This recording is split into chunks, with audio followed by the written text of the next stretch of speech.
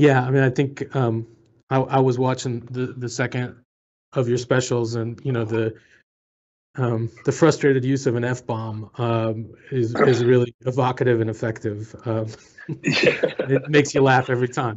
You know. I love that. I I I love that special. It's it's really really wonderful.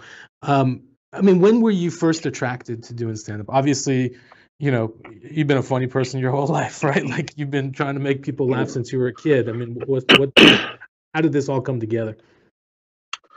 Well, um, stand up is an indigenous art form to America, so I wasn't really familiar with it. It was like there's three indigenous art forms: jazz, hip hop, and stand up comedy. And um, and you know, jazz is already spread throughout the world. So when I came to America at nine years old, um, you know, it was just to hip hop which is a big part of my life to this day. and then I saw stand up and I loved it. It has this storytelling tradition. As an Arab who comes from a storytelling tradition, I find it so fascinating to see one person on stage telling stories and being deeply personal at the same time while delivering these hilarious punchlines. It's like, and sharing it with a crowd. I thought it was, I was just immediately in love. I was like, this is what I'm going to do for a living.